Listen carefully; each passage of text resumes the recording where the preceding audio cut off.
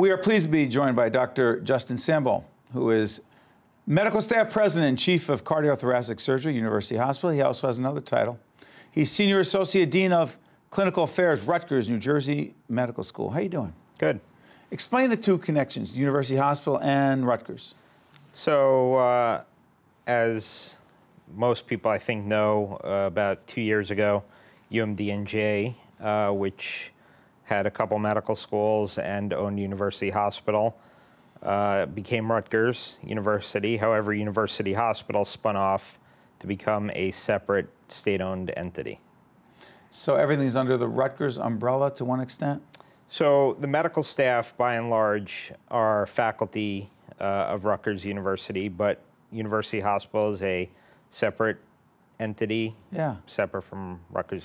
And, and University Hospital still does extraordinary work in a lot of areas. Trauma, big area? A lot of trauma surgery, we're very well known for that. A number of other things, neurosurgery, head and neck surgery, uh, cardiology, heart failure. I'm a cardiac surgeon, so Yeah. do good work there too. So, so connect it for us, uh, Doctor. When you have a hospital that's so involved in so many important clinical areas, but then you've got this medical education piece, tie the two together. Paint that picture for those of us who don't have the medical background and help us understand why that's so important and ultimately, frankly, what it means to the rest of us.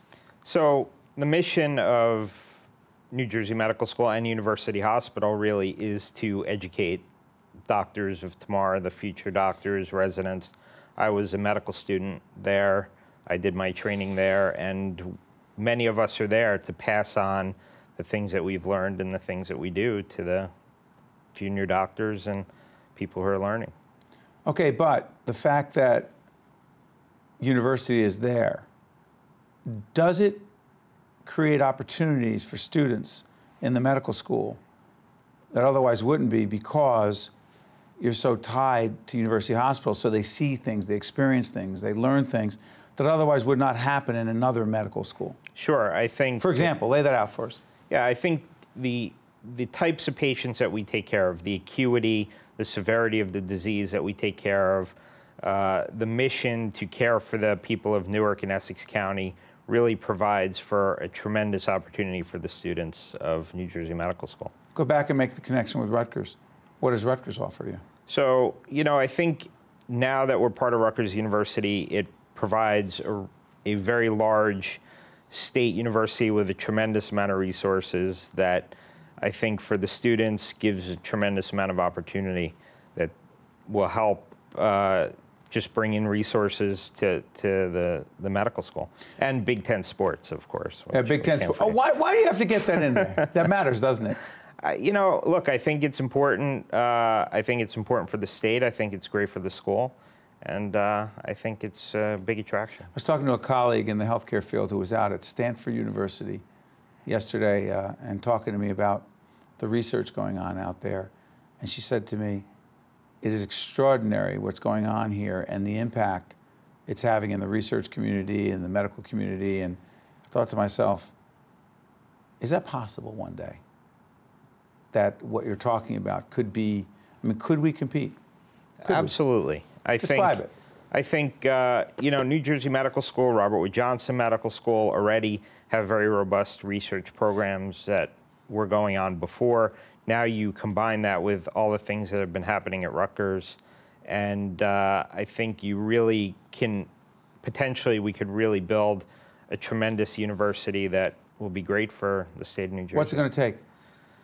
You know, it takes resources. It, take, it takes infrastructure. Uh, it takes uh, a willingness and a, a drive to do On it. And I think the well, I think on the part of the state, on the part of uh, the people in New Jersey, and I think on the part of the leadership of Rutgers. And I think the leadership of Rutgers really is dedicated to that goal. When you say the people of New Jersey, what can we do? Well, I, I think uh, support the school and uh, support its mission and understand that the finances are important and uh, it's something that It's not just going to happen on its own. it's not going to happen. It definitely requires the state and financial support. I'm curious about this. I asked uh, some of your colleagues this question. I want to ask you as well. When did you know that medicine would be your professional life? So it was something I really decided early on. Um, I always visioned myself as a doctor, and I think that How far back? as far as I could remember, that's Really? what I wanted to Seriously? do. Seriously. My father owned a construction company, but all I could think about was becoming a doctor. Because?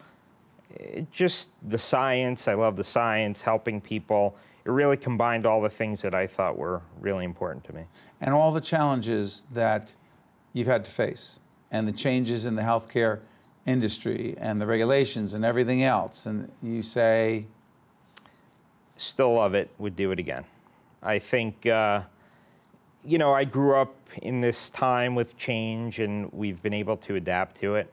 And uh, I think, you know, medicine, there are definitely pitfalls and struggles, but I think it's a great profession. Dr. Sambol, I appreciate it, and we are glad you made that decision. Keep it up. You're making a difference every day.